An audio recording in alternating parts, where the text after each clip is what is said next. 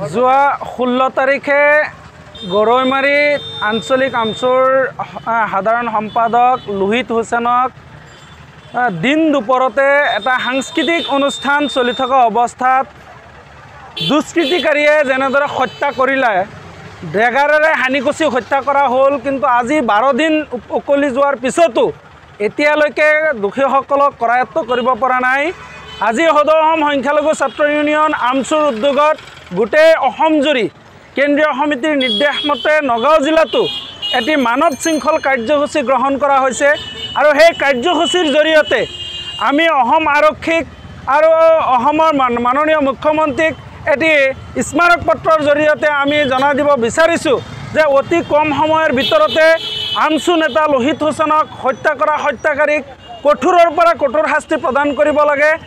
ন্যায়িকভাৱে এজন উচ্চতম ন্যায়ালয়ৰ এজন ন্যায়ৰ ন্যায়াধীশৰ জৰিয়তে তাৰ উদিত উচিত তদন্ত কৰিব লাগে আৰু তদন্ত ব্যৱস্থা ক্ষিপ্ৰতৰ কৰি অতি কম সময়ৰ ভিতৰত দোষীক কঠোৰৰ পৰা কঠোৰ শাস্তি ব্যৱস্থা কৰিব লাগে।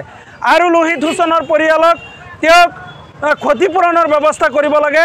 অন্যথাই আমচুৱে আজি যি কাৰ্যসূচী গ্ৰহণ কৰিছে অসম গোটেই অসমজুৰি তাৰপিছত ইয়াৰ পৰা আৰু ভয়াৱহভাৱে গণতান্ত্ৰিক আন্দোলন কাৰ্যসূচী গ্ৰহণ কৰা হ'ব। প্ৰয়োজনত গুৱাহাটী তাৰপিছত প্ৰয়োজন হ'লে দিল্লী হ'লেও গৈ ইয়াৰ বিৰুদ্ধে আন্দোলন কাৰ্যসূচী গ্ৰহণ ঘোষণা কৰা হ'ব। আজি স্মাৰক পত্ৰ প্ৰদান কৰা হৈছে জিলা উপায়ুক্তৰ জৰিয়তে। আমি আৰক্ষী প্ৰধান আৰু অসমৰ মাননীয় মুখ্যমন্ত্ৰী ডাঙৰীয়াক এটা সাতদপীয়া দাবীৰে আমি স্মাৰক পত্ৰ প্ৰদান কৰিছোঁ। আমাৰ স্মাৰক পত্ৰত আছিল যে লোহিত হুছেইনক যিসকলে হত্যা কৰিছে তেওঁলোকক কম সময়ৰ ভিতৰত কৰায়ত্ব কৰি ফাষ্ট ট্ৰেক আদালতৰ জৰিয়তে তেওঁলোকক শাস্তিৰ ব্যৱস্থা কৰিব লাগে পৰিয়ালক ক্ষতিপূৰণৰ ব্যৱস্থা কৰিব লাগে আৰু যি সাংস্কৃতিক অনুষ্ঠানটো যি ব্যক্তিগত খণ্ডৰ বিদ্যালয়ৰ আছিলে তাৰে লগত জড়িত বিষয়ববীয়াসকলক আইনৰ ব্যৱস্থাৰ জৰিয়তে তেওঁলোকক শাস্তি প্ৰদান কৰিব লাগে।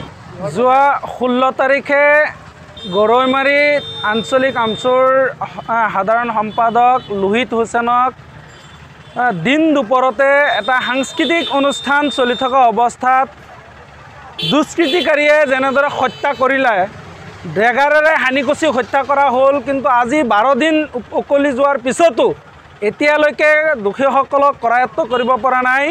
আজি সদৌ সংখ্যালঘু ছাত্ৰ ইউনিয়ন আমচুৰ উদ্যোগত গোটেই অসমজুৰি কেন্দ্ৰীয় সমিতিৰ নিৰ্দেশ মতে নগাঁও জিলাতো এটি মানৱ শৃংখল কাৰ্যসূচী গ্ৰহণ কৰা হৈছে।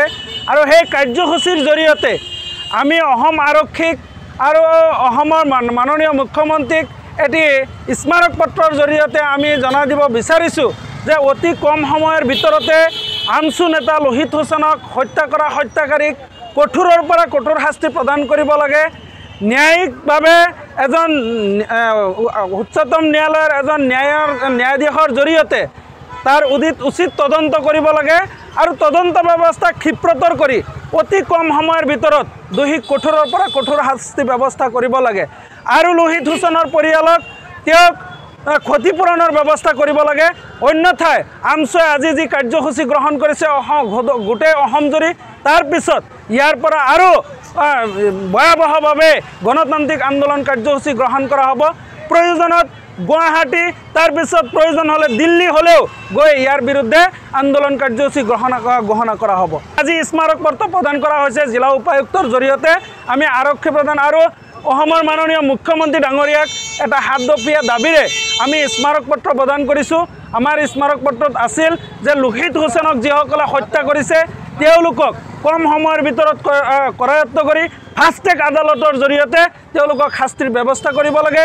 পৰিয়ালক ক্ষতিপূৰণৰ ব্যৱস্থা কৰিব লাগে আৰু যি সাংস্কৃতিক অনুষ্ঠানটো যি ব্যক্তিগত খণ্ডৰ বিদ্যালয়ৰ আছিলে তাৰে লগত জড়িত বিষয়ববীয়াসকলক আইনৰ ব্যৱস্থাৰ জৰিয়তে তেওঁলোকক শাস্তি প্ৰদান কৰিব লাগে।